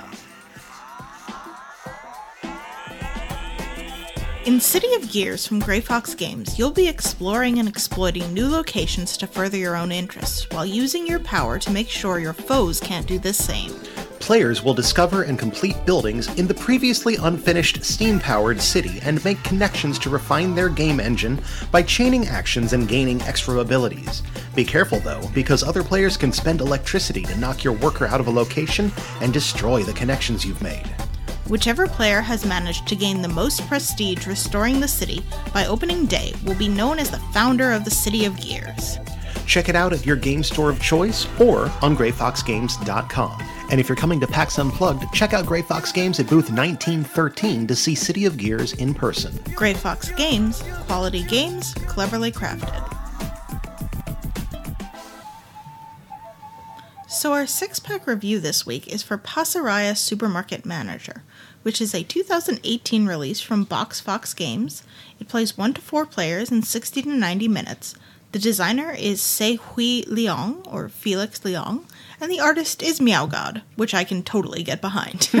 this is a game of deck building, order fulfillment, and unlearning what you know about deck builders. Oh boy. So, Pasaraya Supermarket Manager, on its surface, operates a lot like you expect from deck builders. You have a discard pile, you have a draw pile. You're going to get cards and put them into your discard pile, and then on your turn, you're going to draw some out of your draw pile that will be your hand that you use in that particular turn of the game. Where Pasaraya digresses from most deck builders is that when you spend the money, instead of it going into your discard pile, the money goes away. What a novel concept. When you spend money, it goes away. I think we've harped on how novel and novel is in air quotes here, this is before in uh, episode True. two, two or three episodes ago. And also, when we've talked, if you've seen me talk on Gumbo Live or Game All Night about Pasaraya, I've brought up how novel this is in a way. Same thing, when you use your goods cards to fulfill orders in the market, those goods will go away. It's important to kind of get those ideas in your head early on because this is in opposition to a lot of deck builders. When you have money or goods that cycle through they continue to cycle through your deck meaning that your deck will eventually become big and bloated unless you have a culling mechanic. So i want to get that idea in your head early on so as we talk about this game it'll make sense the way that the flow is going to work You got your resource management in my deck builder. well you got your deck builder in my resource management Indeed. Anyway, in addition to the standard draw pile and the discard pile, aka warehouse, you have two other areas in your player mat that are kind of important. You have the supermarket, which is everything above the top of your player mat, which is where you will store goods that you have for display that you can eventually, you know, sell to fulfill contracts. And you can also put some of these employee cards for standby. I'll talk about all that in a little bit. But basically, you can stock up cards there to take actions on later turns. You You also, on the bottom left of your player mat, have a bank. And this is really important and one of the most interesting things about the game. Anytime you fulfill an order card using some of your goods, you're going to get money for it, which is good because you need money to obviously buy more goods and services. But the money will go directly into your bank, and you are controlling when the money moves from your bank into your discard pile. You are actively managing how big your deck will be at any given time. It's culling built into the mechanics of the game, and it's I'll, I don't want to spoil the review of the game. That I won't talk about that in a little while. So, in the central area between all players, you have the four the you have the three basic goods. You have food for one coin, you have clothes for two coins, and you have appliances for three coins. You also have four different worker cards that each have two kinds of workers on them. Uh, there's a supervisor that when you play this card, you allow you kind of churn through your cards faster. There's an accountant that allows you to convert one money cards into three money cards, so you can draw more money on a particular turn. You have a recruiter that allows you to hire people cheaper, and also you know have the ability to put them directly onto the top of your deck if you wish. You have a worker that allows you to move goods that you've just purchased and is in your discard pile up to your supermarket up top so you can use them quicker. You have a buyer that can buy goods cheaper, which is fantastic and allows you to, you know, work with those cards in an interesting way. And you also have this thief and security kind of card that you are able to steal from other players, get some of their cards that way. But frankly, in games we've played, this card has come out literally once. So I'm going to kind of gloss over that particular feature. I'll talk about that later. You also have a junior salesperson you start with, and the bottom half of one of the cards is also a salesperson, and this will allow you to take the goods that are in your warehouse and fulfill these sales orders cards that are up at the top of the common area. And these require a specific number of food, clothes, or appliances. And you do those, you'll get that card, it will go into your discard pile, more on that later, and you'll get the money that will go directly into your bank. These sales cards, once they cycle through into your hand, are going to impact the game in interesting ways.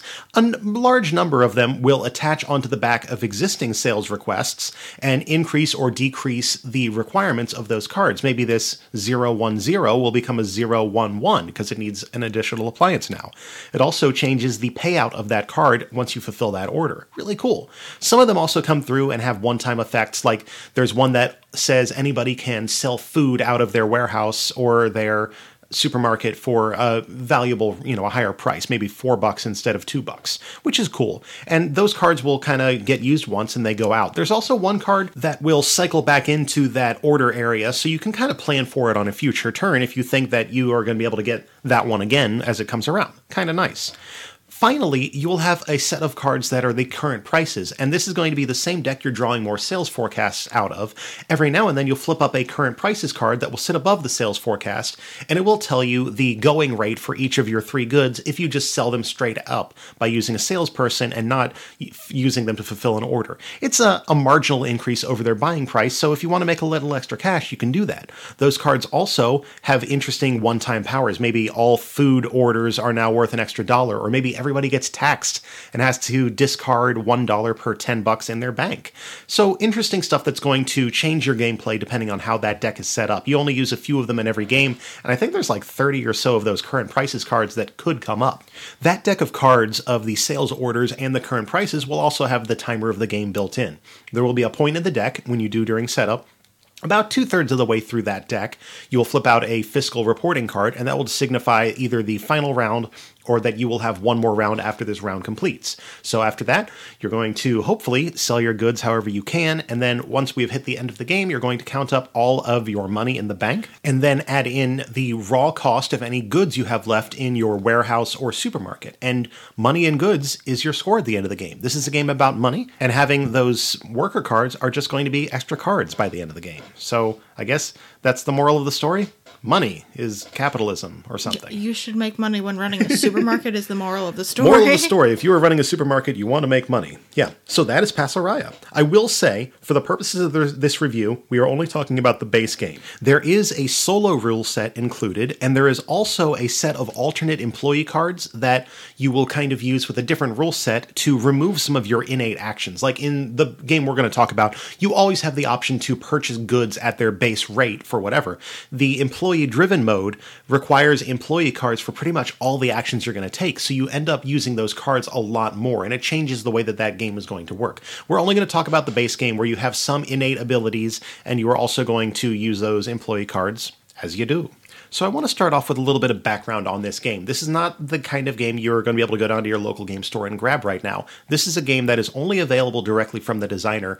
I happen to have a gameplay of this with. Um, Eric Yurko from What's Eric Playing at Gen Con this year. It was the very first game that I played, and I purchased a copy direct from the designer then. So, uh, Hui Long is a Malaysian designer, and you can get it directly from him. I think it's 49 bucks, shipping included from Malaysia, which for a box of pretty dense cards is pretty good. I mean, all in, I, in my opinion, I think it was a fair deal. Yeah. It is a little bit more than you might generally play for pay for a box of cards, but again, that shipping is included, and these cards are really just very nice thick cards. Mm-hmm. The art on it is well, I think it's nice. I think it's fun Yeah. and cute. If you are a very anti cartoonish art, if you don't like chibi style art, which this isn't chibi style, but it is close to chibi Yeah, it's style. like Funko Pop kind of looking. People. Yeah, pretty much. If that's not your bag, you may not love it, but I think it's very cute. But one of the reasons that I have been pushing to do a full featured review on this for a long time is that this is a self published game from a Malaysian designer who's not going to have a lot of marketing machine behind them. And I. Like to spoil the end of it, I love this game. This is one of my very favorite games of the year, and I love the fact that it came from a place that you wouldn't usually look for a game. As I understand it, there's maybe like 150 copies that have been sold so far, and if I inspire uh, 10 of you out there to contact and order a copy of this game, then I feel like it was 100% worth it to talk about this game today. But let's talk about the game itself. Like you said, art kind of cartoony. This one thing that I've noticed whenever we've had this at game days is that people always want to come by and take a look at this. The box is your typical kind of long card box, but it's got such bright, colorful art on it, and the side panel is really eye catching as well. You know, not only the side panel, but the top of it, the whole box is made to look like a carton. Well, I, I assume it to be a carton of milk. I'm sure they sell many other things in that carton shape, but if you've ever seen a, ca- a carton of Parmalat, uh, it's about that shape, and but it is it is shaped like a like a liquid containment device. There's a little cap drawn on the top of it, and the side panel has what is supposed to look like nutrition facts, but is actually just uh, references for I think for the rule book where you can find information in the rule book. It talks about the components and stuff as well. Okay, so Yeah. yeah. it is just information about the game, but it looks like a little carton of liquid. Yeah. and I think it's very cute. And like I said, the art's really eye catching, and you're going to be laying out a good bit of cards on the table, so you get to really kind of enjoy it. I like the player mats. They're not huge, they're not, you know, giant player mats. They're a nice size card that will fit into the box, and it will give you space to have each of your different areas, especially once you get a feel for how your player mat is going to be set up. and they're double sided. One side lists all of the potential actions that you can take in your draw pile section, and the other side doesn't. So if you've played the game a couple of times, you don't need the actions that are available listed out for you. You can play with that side face up that doesn't have any of the actions listed. But if you do have a new player, you have a player aid card that's not an additional card, it's right part of their player mat. Mm-hmm. There are a few interesting things you got to pay attention to as well. The cards aren't rotatable in a way like it's you know there's obviously on the back of the card there's a face up and a face down and if you're looking at the front of the card and you have i think the money cards for example the meal cards if that you have them upside down in your hand it'll be a dead giveaway that you have meal but if somebody else is staring at your hand that closely to see how much money you have like yeah if you have the meal upside down the back of the card will be upside down and Do you not leave other cards upside down in your hand? no i do not I, I don't upright my goods Okay. when I'm playing. Like I know that the food is food, whether Yeah. it's right side up or upside down. Mm-hmm. I will say the cards were a little sticky, not like icky sticky, but they're, you know, kind of stuck together. It's not like the smoothest finish in the world on them, but after a handful of plays of this, everything loosened up pretty good and we're playing it just like any other normal card game. But I guess where I want to start with talking about gameplay is the learning curve on this game. When I first played this, and Eric Yurko taught it to me at Gen Con, it took me about half a game to understand the way that it works. And this is the thing that I find most interesting about this. I've talked about this at length on other people's shows whenever we've talked about this game, but it's interesting to see a deck builder that has removed a level of abstraction. It works like you expect it to work. When you spend money or send out goods, they go away. And it's interesting to me and kind of exciting in a way that we have to remind people that's how economy works because it's something you don't usually expect in a card game. You know, this is my water flows downhill moment of the episode that I always talk about. When you spend goods, they go away. What a surprise. That's how economy works. But to untrain your mind, if you have played a lot of deck builders, your star realms, your legendaries, stuff like that, to untrain your mind that your cards will always stay in your hand, it takes a minute. And that's kind of exciting for me and what I really enjoyed about my first play of the game. In addition to that mechanic being really novel, I really liked the way that you control how money gets placed into your deck. At the end of your turn, you can decide to move any amount of money you like in single unit meal cards mm-hmm. into your discard pile so that when you recycle, it will be there for you to purchase goods or to hire people. There's two important things about that. You need to monitor the rate at which you move things so that you don't dilute your deck really really weakly so that you you know you're going to be drawing a handful of all one meal cards which is not going to allow you to do a whole ton of things. You want to be drawing a mix of workers to lay out and goods and also cards that are going to allow you to buy and to hire but also it means that as you move that money from your bank you are giving away points mm-hmm. you need to spend points to make points in this game and you control the rate at which you do that Something that I have found really interesting about that deck control mechanic is how differently different players have approached this.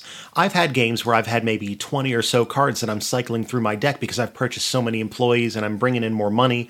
And as I've gone further with more plays in the game, I'm finding the balance of that a lot more effective. So I can, you know, have maybe like eight or nine cards that I'm cycling through, and I have a really good idea for what's going to be in my hand. One thing that really amazed me when we were playing this. We were playing this with Matt Wolf up at the Gamers for Cures marathon. The entire game, he only ever had five cards in his card cycle at any given time, so he knew exactly what he would have. And it's cool in a way to see a game that allows you that much freedom to control the size of your deck. One of the biggest complaints I hear about deck builders is, oh, I wish this had a culling mechanic, or man, I wish I could get rid of this junk cards quicker. I think Star Realms did a really good job with that in that a quarter of the cards, the red faction, are really focused on culling. But I hear this a lot in other deck builders like uh, the Harry Potter Hogwarts battle apparently didn't have any culling early on. And I know Clank, while deck building is just an element of that, there's not a lot of culling available in that. And this is a game that really is focused on you controlling your deck so you know exactly what you're going to have come up so you can be as efficient as possible with those cards. Well, I mean, I feel like that adds to the thematic nature of this deck builder mm-hmm. because if you are running a business, you control how much money is being put into your hiring, you control how much money is being put into your overhead, which is essentially what buying goods into into your supermarket is or into your discard mm-hmm. pile to be put into your supermarket. You make those decisions. You decide who you're going to hire and you know, if you can maybe find a way to negotiate that, you know, in this case, it's using a recruiter to negotiate that at a lower price and hire them at a lower price.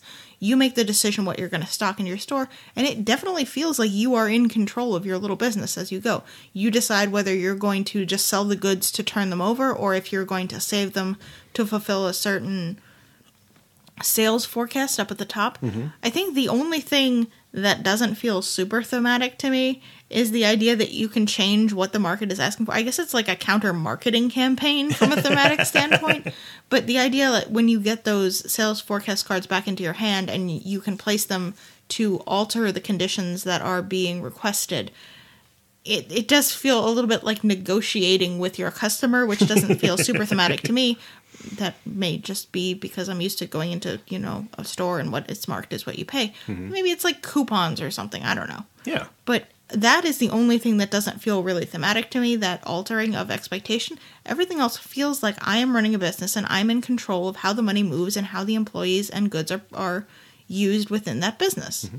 As somebody who's worked in retail and food service for a very long time, I really want to echo that. So much about this game feels thematic. I feel like I'm controlling costs like I do in the restaurant business. You know, you're hiring only exactly the people you need, and some of those people are going to have two jobs. And that felt right. You know, it feels right to me that the supervisor and the accountant are the same person. This is a small family establishment. Of course, that person's going to be doing two things. That's what they have to do to manage their costs and get by. And I just, I love the thematic feel of a lot of these cards. Well, now I feel like based on the art, they are supposed to be two different people. Very true, very true. Each card has two very different illustrations on it. So And then you you have the thief and security. Obviously, your security guard isn't stealing from the rival establishment. Maybe. Maybe not obviously. Maybe it does happen. I don't know. Um, I will say, and I feel like this is a good time to talk about the thief and the security thing. So it has this card, the thief and security. The thief, when you play it, you can steal from somebody's supermarket a card or a card from their hand, I think it is, or maybe the warehouse. And then security means that they have to play two thief cards to, you know, do that thing. You need to play more thief cards than the other person has security Yeah. cards in play.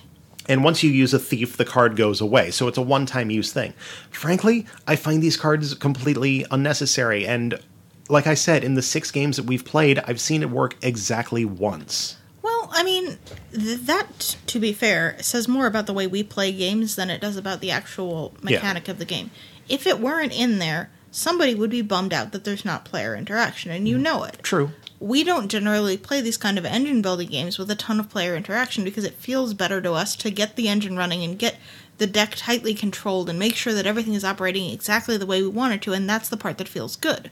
There are people who really enjoy interaction between their players, and I think this is a good way for that to be done because not only are you deciding when there's interaction, because if you see somebody buy a thief card, you can just buy a security guard and put it there Yeah. and you'll you'll be safe. But you also are deciding how much of your points are you willing to invest in this one one upping of the other player because hiring those people costs money. So you need to give away your points again in order to be able to have that interaction. And I think it's an interesting addition to the balancing act that they're doing as opposed to just like letting you somehow mess with other players. Okay, I definitely can see that, and I'm I'm on board with that. It could also be the fact that every time I teach this game, I mention to everybody, "Here's this card. I've never used it. You don't have to use this card." So I generally kind of push people away from using it. Yeah. I want to have more fun doing the engine and the the order management stuff. I mean, that's just exciting to me. I understand that, but you are definitely coloring the way people are playing this game. Yes. I'm fine with it because I agree with you, but you know, it, it would definitely be a different issue if you didn't mention it that way. But again, I think it's it's just a matter of how you play mm-hmm. this type of game. So this game generally plays two to four players, which is pretty typical for a lot of games like this. I've played every player count possible, and honestly, this is a, a th- two or three kind of deal for me. I like three because you get more moving pieces, but I will say with four, you are going to get the ta- the downtime you expect. You're only playing a quarter of the time of the game, and it has pretty generally played in about an hour, no matter what the player count, which is nice. So I feel like I've always got the same amount of game, but at a four player game, you're definitely going to be, you know, once it's the next player's turn, you're just going to draw your five cards and kind of look at the board. You can't really be 100% certain you're going to get any of those sales forecasts, so you might as well just, you know, sit back for a second and just enjoy some of the fun art. I do want to go back to something I was talking about earlier when we were talking about Carcassonne South Seas. Okay. Because in that game, you have a similar kind of point scoring mechanism where you need to have certain types of resources in order to fulfill the main point getting mechanism of the game. In this case, it's the sales forecasts. In that game, it's those boats that give you points. Yeah. So you need to have those resources, and you can't really control what's coming out. I mean, there is a little bit of a shift. I think the later game cards, the year two cards, have a little bit more of the more expensive goods on them, as opposed to the earlier cards having more of the food, which is the cheapest resource. But you can't really control them in any way other than to just wait for something to come out. Mm-hmm. But because in this game, what you can get is not random, it doesn't feel as restrictive as it does in Carcassonne South Seas. Yeah. In that game, I was talking about there being too many random elements, but in this game, you control what inventory you buy. So you may not always have the right inventory, but you can get it whenever you need it. It's just a matter of how much money you put into your deck to be able to buy the resources that you need. And because of that, the random sales requirements don't feel as hindering as they do in that game. And I wanted to make that clarification because I know like 20 minutes ago I was complaining about this type of thing and now I'm like, "Oh, it's fine." But it's because you control what you get in this game. There's never like a point where you can't buy a food if you've got money in your deck and there's always a point where you can get money in your deck if you have money in your bank and you start with some. Yeah, and it really loops back to the central thing that I love about this game. This game is all about controlling what you have in your deck so that you can use exactly what you need to get that particular order fulfilled. This is a game about controlling your resources tighter than any deck builder lets you do this. And if you are a fan of deck builders, if you like the mechanic of adding things to your deck and then cycling through them, but you want to be able to control it more, this is a no brainer of a game that I think people would want to take a next step to. All right, so Danielle, final thoughts?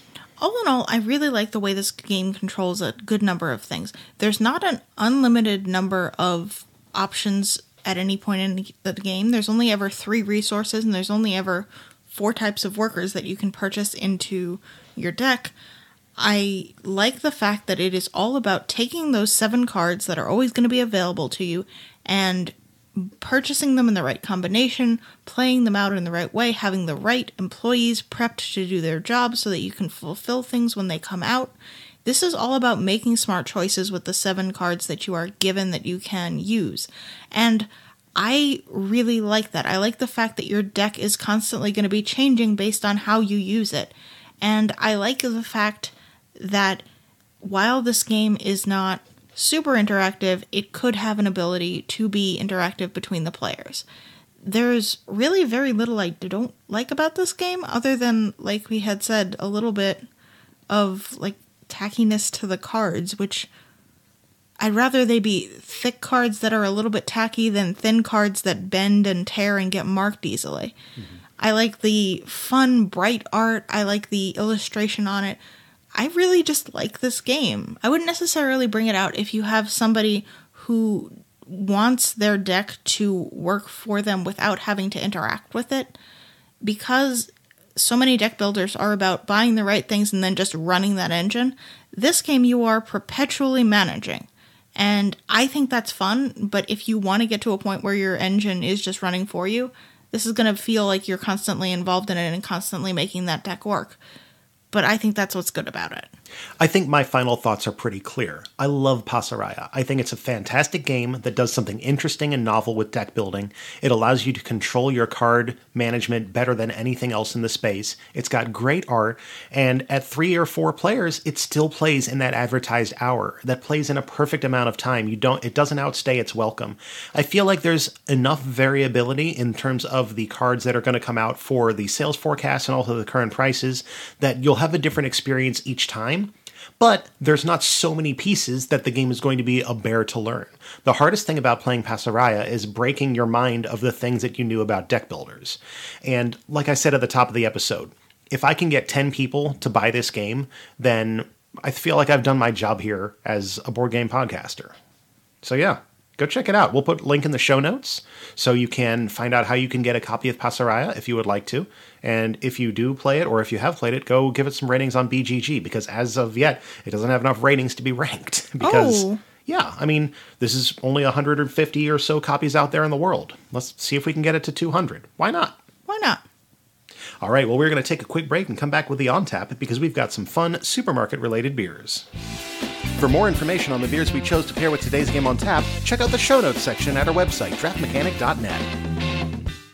So, since Pasaraya is a supermarket manager game, I thought this was a really good time to highlight supermarkets that actually have their own beers that they sell. Nice. They don't all always brew them themselves, which you're going to see in two of the three supermarket beers that we're going to be talking about. They are brewed via breweries that work in collaboration with the supermarkets. But I think it's interesting to highlight stores that are actually making something new that they can sell in their space. And it's a really good option for somebody who's looking for something a, bit, a little bit different, but who's not really willing to go to, you know, your local bottle shop at this point. That's a different stop. There are lots of very busy people. There are lots of people who are not willing to make that commitment yet. But if you can get something more interesting than a Bud Light in your supermarket, that's cool. And I mm-hmm. wanted to talk about it. Cool, I dig it. So, from Whole Foods Brewing Company, based out of Houston, Texas, we have the DL Double IPA. It is a double IPA at 8.2% ABV and 84 IBU. This is obviously for Whole Foods Market, which is, I guess, a nationwide chain. Yeah, Whole They're pretty Market much everywhere now. It's a Yeah. nationwide chain. Uh, Amazon owns them, so they're very everywhere. True, very true. So there's a juicy hop flavor with enough bitterness to keep it refreshing and a citrusy aroma jumping out of the glass. When you say that Whole Foods Brewing Company is in Houston, Texas, they're actually in a Whole Foods in Houston, Texas. I'm pretty They sure brew they're at the. Oh wow. well, uh, they don't brew in the supermarket. They brew in a building Oh, okay. in there, but they there's a little pub in the supermarket. Oh, that's so cool. Next up from Unibroue in Chambly, Quebec, Canada, we have Providential Belgian Style Golden Ale. This is a golden ale that is brewed for Trader Joe's, and frankly, I really should be putting vintage 2018 from Unibroue that is sold at Trader Joe's on this list because it comes out like this week. It's in their Fearless Flyer circular this week, but we used it in episode 84 for the Ultimate Carcassonne, so I didn't want to double up because that's cheating. I mm-hmm. try not to do that. So I am I'm officially using Providential Belgian style golden ale, which is also very good. And if you can get a chance to try it, it is a golden ale with pear aromas and citrusy and peppery flavor notes. It's highly carbonated and available in bombers. It's very good. But right now, if you're looking for the thing that is just in Trader Joe's, it's vintage 2018. But we can't use that twice. Yes, we have a strict policy here on the on tap. I made a rule. Yes. So Aldi UK has a beer that they brew with Brains Craft Brewery in Cardiff, Wales. It is Spill the Beans and it is a coffee porter that clocks in at 4.4% ABV. This porter has a multi rich chocolate taste with an aroma of caramel and some sweet malt, and it's available in 12 ounce bottles. Yeah, I went with an Aldi UK on this one, not just because I wanted to be global, but because the brews that Aldi has brewed for their US branches were rated less well. They do do some beers for their Aldi US franchise, and I'm hopeful that going forward maybe they will work with some other breweries and, you know, get a, a more well received beer Yeah. brewed for the US brands, but the UK one had a whole bunch of beers that were above the threshold. I generally consider uh, when I'm, I'm looking at ratings of beers, I pull this list off Untappd to pull back the curtain a little bit. I don't really consider beers that are less than 3.5 out of 5 on a rating scale. I consider it to be like I don't want to tell you guys to go drink beer that you're not going to like. so the US ones were all below that threshold, so I didn't even consider them. But the UK ones had a whole bunch of beers that were well above that threshold because they're working with really good breweries like Brains in Cardiff. So good for them. I hope Aldi brings that practice across to the US soon. Cool. And finally, And finally, our fourth beer is not a supermarket beer, but the name will explain why it's on this list, and I absolutely loved it, and I know I'm never going to be able to use it otherwise. It is from Stickman Brews in Royersford, Pennsylvania, and it is store bought is fine. That's a double IPA, and it is 8% ABV. It is a full bodied double IPA with pineapple notes and a juicy flavor profile. And their tagline for this beer, which if you've ever heard anything from Ina Garten, who is a television chef and writes a ton of cookbooks, uh, their tagline for the beer is If you can't brew Southeastern Pennsylvania's best double IPA at home, store bought is fine. this is available in cans also, so go out and give it a try. They have two uh, poorhouse locations in Pennsylvania, and it looked like these, like I said, they were available in cans, so you could get it to go, and there's a little bit of distro on that. Cool. Well, for more information on those beers, you can hit up the show notes section at our website, draftmechanic.net. And Danielle, it's getting cold outside, and you had an appropriate beer segment for us. I realized we had never done a beer primer on winter warmers. I had talked about sort of old ales and that style of English ale before, but we've never talked about winter warmers. And I thought it was about time because they're starting to come out, and this is uh, this is when you're going to want to know what they are as This it gets cool. Well, not quite yet, but Yeah. Winter warmers have their roots in English strong and old ales, most, lo- most notably the Burton Ale. They are stronger in ABV than the rest of the beers that a brewery will generally brew. Well, when I say that, I mean they're stronger in ABV than anything other than like your crazy bourbon barrel double stouts or whatever. You know, they're, they're obviously breweries like Dogfish Head are going to be brewing stuff that's 15, 16, 18%.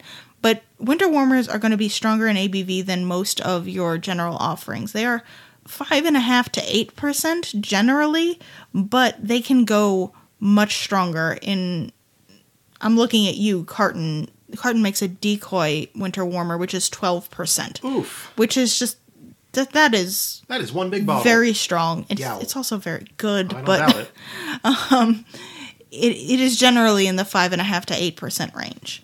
They are predominantly malty in flavor, And there may be some hop flavor in the nose, and particularly in an American winter warmer, you may get some hop flavor in the nose because have to hop Americans everything. we do like to hop things. But if you get hops at all, they're going to be really well balanced and they're never going to overpower the sweet malty flavor that is the focus of these beers. Like you pick up a winter warmer, it should be a malt bomb in your mouth. Hmm. That is on purpose. The color can range anywhere from a red color to a dark, dark black color, and that's because you're putting a ton of malt in it. That good, good malt is going to give you a lot of good, good color. If you have these, they're going to have a toffee flavor or sometimes a dark fruit flavor to them. Not as an additive necessarily, although you can add fruit to a winter warmer, but it, that's just the flavor that you're going to get off anything that's that style of multi dark. Like you think about like a Belgian double, that's also going to have those darker fruit flavors, or an old ale will have that as well. They can be spiced, but they don't have to be. If they are spiced, the English versions of these are generally going to be much more reserved in how they're spiced, while the Americans, who've already dumped a whole bunch of extra hops in them, are more likely to aggressively or eclectically spice these. When you talk about like American winter warmers, that's when the distinction between Christmas ales and winter warmers sort of gets blurred a little bit. A lot of times, especially when you're looking at either beer judging, where they're grouped into categories, or when you're just talking about articles about history, Christmas ales and winter warmers are grouped together because they're brewed at the same time of year and they're similar styles of beer. Theoretically, Christmas ales should be the significantly more spiced of the two, but a lot of American winter warmers and even some English winter warmers are putting spice into a winter warmer, so you get something that's sort of a hybrid. Generally, you shouldn't have as much spice in a winter warmer as a Christmas, but you know, sometimes you do. I don't know if I said it at the beginning, but the idea of why it is called a winter warmer is because when you're in a cold climate, drinking something that's higher in alcohol content is going to warm your belly. I mean, it's the same reason why the Russians make vodka because it is warming to them and they live in a really, really cold place. Hmm. And, you know, you get Scottish alcohols, you get like whiskeys or scotch you're, you're gonna drink that and it will keep you warm in cold climates. But this idea is that you know you're drinking an english ale you're still getting your english ale because you're english theoretically when these were started and you'd like to have something to drink. Mm-hmm. But it is higher in alcohol content so you're gonna brew it in the colder time of year. The other thing about that is when you increase the alcohol percentage of a beer it is more shelf stable. It'll last longer. This is sort of evidenced by the fact that when we talk about aging stuff we say if it's over 10%, you can probably keep it for a little while. You know, an, an IPA is always going to be less able to age than something that is more malt based, but something that is higher in alcohol content is more likely to age well. Well, these beers were brewed in the fall and going into the winter because that's when they had the grain available, and they had to last a little bit longer through the winter, so the higher alcohol content helped there as well. If you are looking for a recommendation on some winter warmers, I mean, you will obviously get some stuff from England. You'll get your Sam Smith Winter Welcome. Oh yeah, that that that one was always my favorite. Yeah, I actually wanted to make a different recommendation from our neck of the woods. Okay. Highland Cold Mountain just came out. Oh yeah. And Highland Cold Mountain isn't a very good winter warmer. They've got an imperial version of it, which I imagine probably comes in a little closer to that carton decoy I was talking about hmm. before. Also, that carton decoy is pretty good, but I don't think it's out yet. But if you can have a chance to get Cold Mountain, they distribute it pretty well around this area. I'm not sure how far it gets, but it is a really good one. I also love Fullsteam First Frost, which is a winter warmer with persimmon. Like I said, you can put fruit in it, it's just not necessary.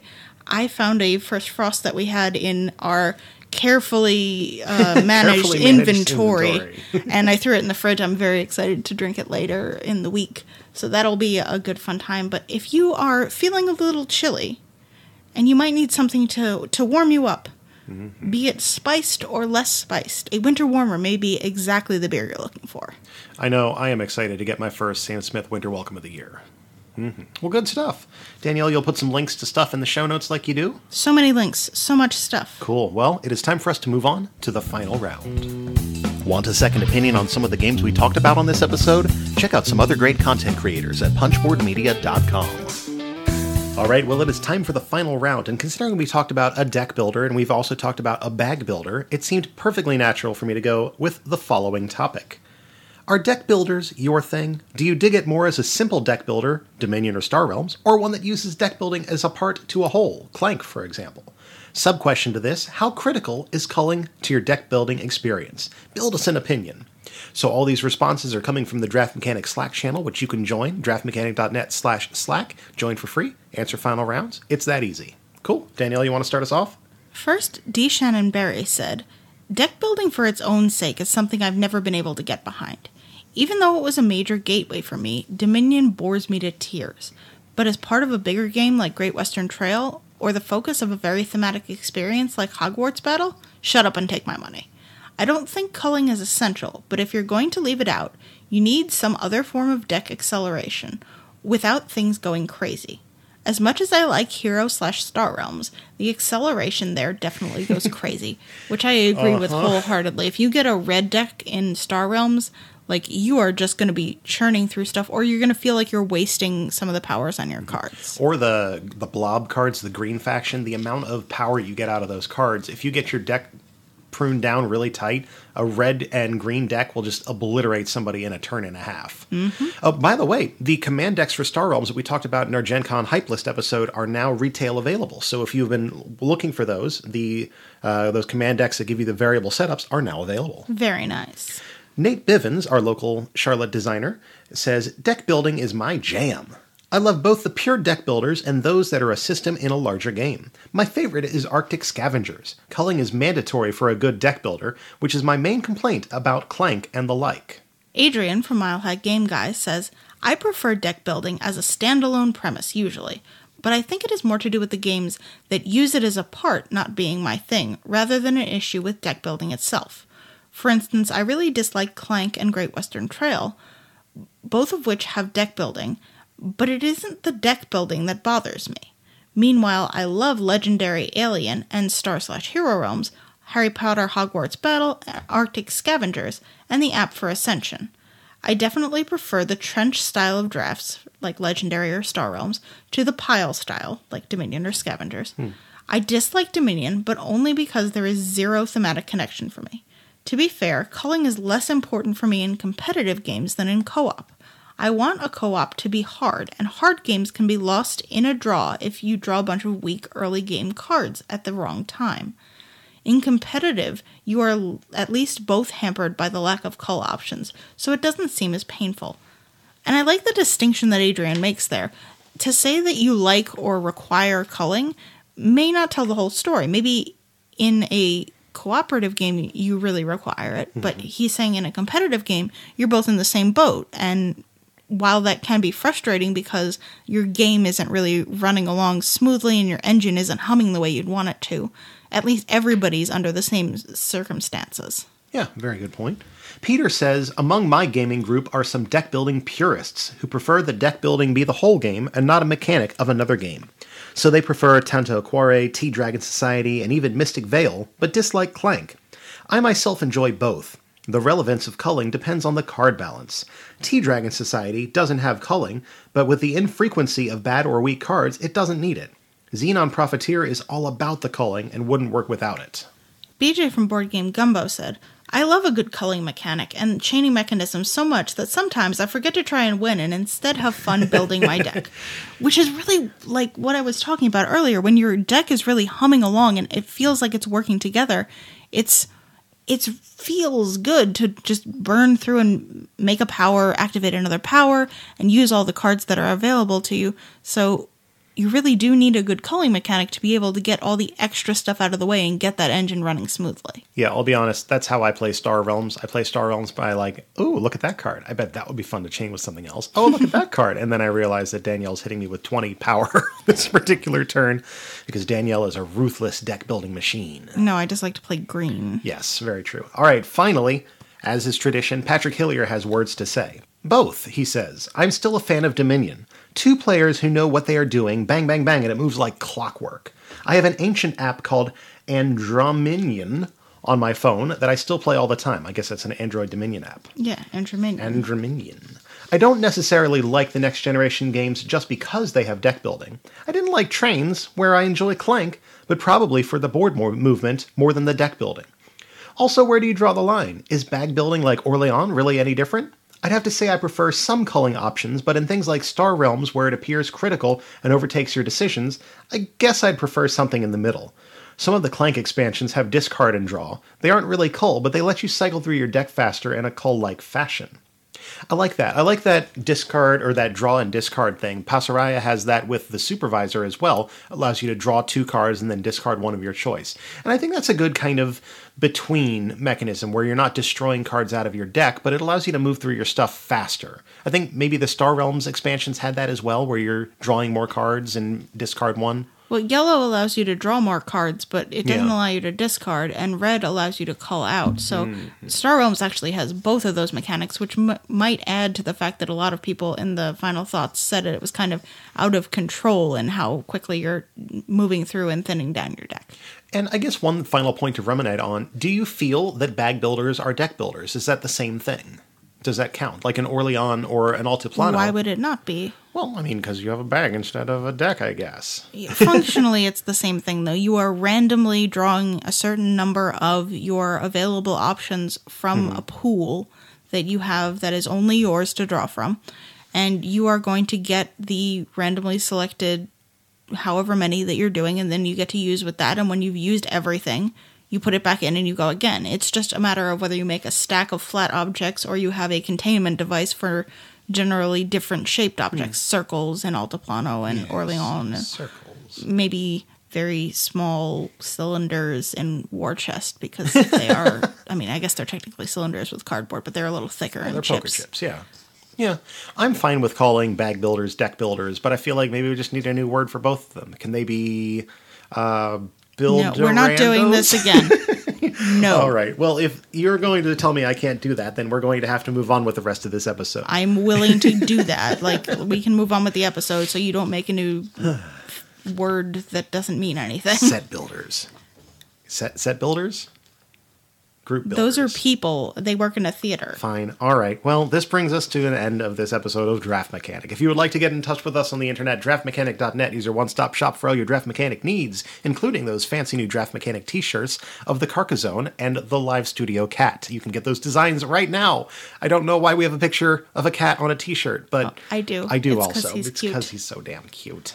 But also social media at Draft Mechanic on Twitter, Facebook, and Instagram, all those typical places. And send us an email, draftmechanic at gmail.com if you would like to do that. We also have a Board Game Geek Guild. That is guild number 2470. There will be a thread up for this episode so you can let us know what- you think about deck builders or about Pasaraya Mm-hmm. or about Carcassonne South Seas or anything else we've talked about. Maybe Winter Warmers if Even you really have an opinion on you can that. tell us.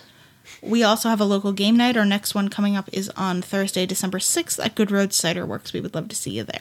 Oh, and before I forget, if you are a Time Stories fan and you've been playing through Time Stories with us and have finished Brotherhood of the Coast, we have released spoiler episode Theta, where we go behind the scenes on our playthroughs of Brotherhood of the Coast with our team and also Team Beta. It is available on the podcast feed and also at draftmechanic.net slash spoiler episodes if you want to go listen to that or ones we've done for any of the other scenarios so far.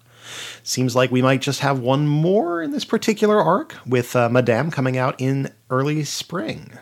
Fingers crossed, early spring. Yeah, and Draft Mechanic is sponsored by Grey Fox Games. Visit greyfoxgames.com and sign up for their newsletter for the latest. Grey Fox Games, quality games, cleverly crafted.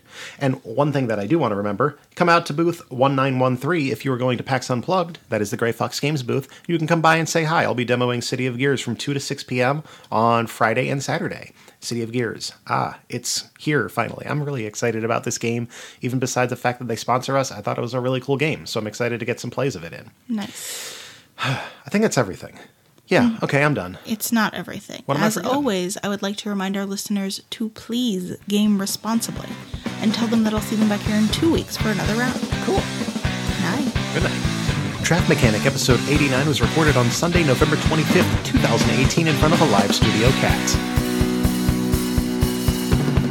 Beauty in your eyes,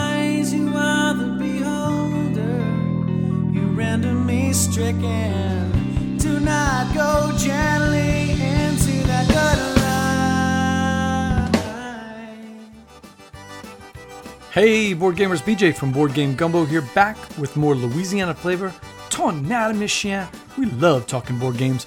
That's why we started up Gumbo Live, the number one Facebook live talk show dedicated to board gaming. Each week, we interview guests from your hobby, publishers, designers, content creators, and you get to ask them whatever you like. It's a live show.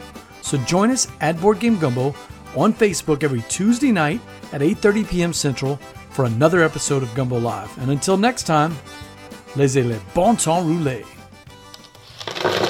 Punchboard Media, where we all Bring something to the table. pull up a chair at punchboardmedia.com.